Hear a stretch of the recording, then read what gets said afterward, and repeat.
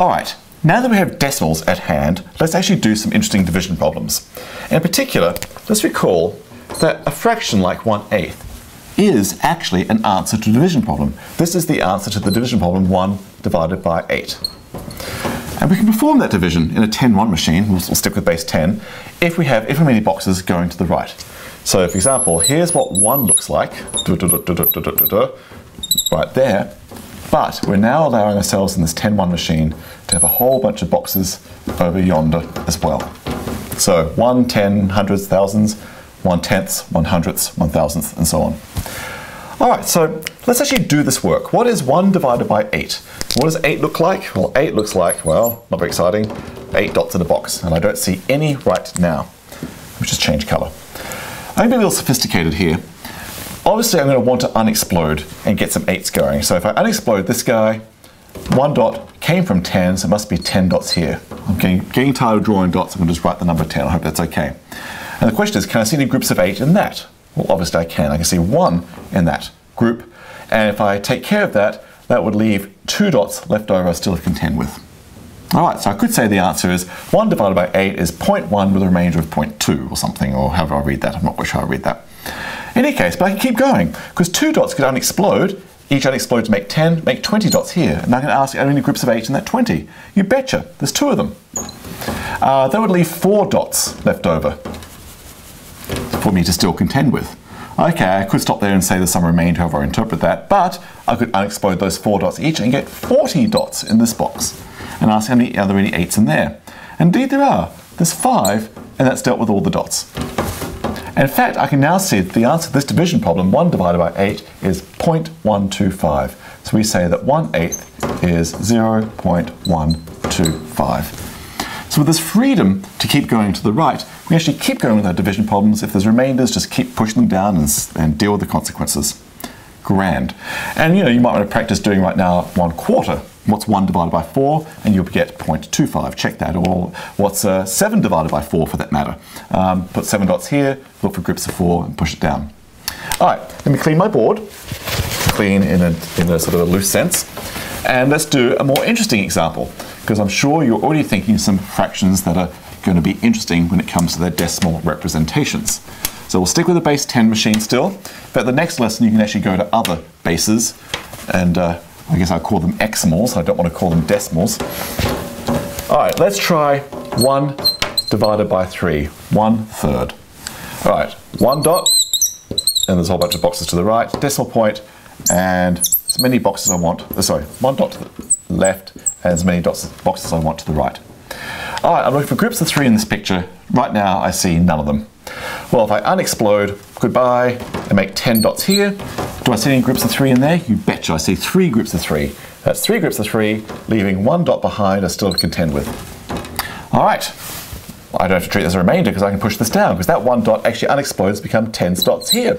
Do I see any groups of three in there? You betcha, I see three groups of three. That's nine of those dots, leaving one behind still for me to deal with.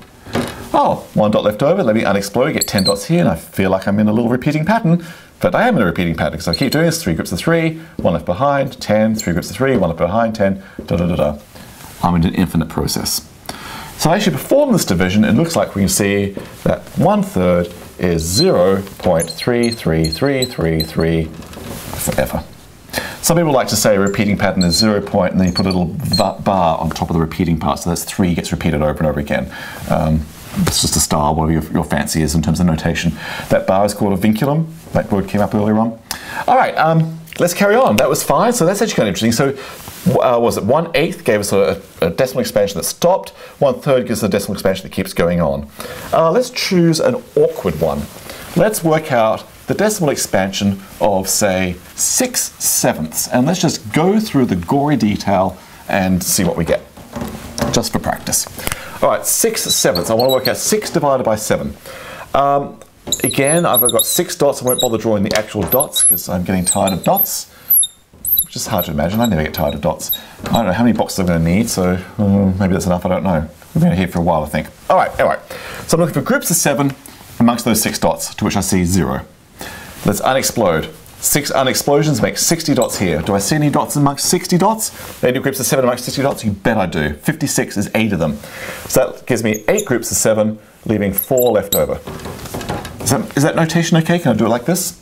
All right, four, unexplode them, makes 40 dots here. Are there any groups of seven amongst 40? You bet, I think 35. That's five groups of seven. And that leaves uh, five dots left over for me to still deal with. All right, I can do this. Five dots, unexplode, makes 50 dots over yonder. Uh, any groups of seven amongst 50 dots? You bet. I think the number 49, that's seven groups of seven, and I guess that leaves one dot left over. All right, that's kind of a remainder, or I could keep going. Uh, one dot unexplodes to 10, there's a group of seven in there. You bet, there's one group of seven, uh, leaving three dots left over. All right, I'm going to be here for a while, it looks like. Uh, three dots left over. Uh, unexploded makes 30. Are there any groups of seven amongst 30 dots here? You bet there are. 28 comes to mind. That's four groups of seven, leaving two dots left over. All right. Two dots, unexplode, makes 20. Are there any groups of seven amongst 20 dots there? You bet. I'm thinking 14. That's two groups of seven. And that leaves, what, six dots left over. And then, and then, six unexplodes becomes 60. I'm back to eight, leaving four dots left over. I'm, I'm sort of pausing right here because I can see once I've got six here, that's exactly what I started with at the beginning. All the work I did with six dots led, led to that. So I'm back to six dots again. So the same work's going to happen again. I must get an 8, then a 5, then a 7, then a 1, then a 4, and be left, and a 2, and then be left with 6 dots again. I can see I'm in a cycle. It looks like 6 sevenths is 0.857142, 857142, 857142, 857142, forever. If you don't quite believe me, it's actually worth doing the tedious work once in your life just to really see that if you keep going, you really are doing the same work over and over again. So do it for you know 20 steps, you'll, you'll be convinced. Uh, some people like to use the Vinculum notation, so this is really group 857142 that gets repeated over and over again. So there it is. This one turns out to be an infinite decimal composed of six digits that go in a repeating pattern. There it is.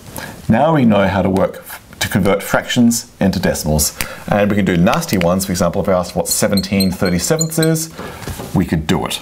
Um, though any person in their right mind would just get out a calculator at that point. Okay, there it is, playing with fractions, turning them into decimals, totally within our reach. 10-1 machine, no worries. If we want to do the same work in a 5-1 machine or a 4-1 machine, we could. And that'll be the next section. I'll leave that for you to look at. The, the text there, oh, the text under this video deals with this work some more, so look at that text. And the text in the next section deals with other bases, if you like to do that. But then, my next video is going to be for lesson uh, 2.4. So I'll see you then.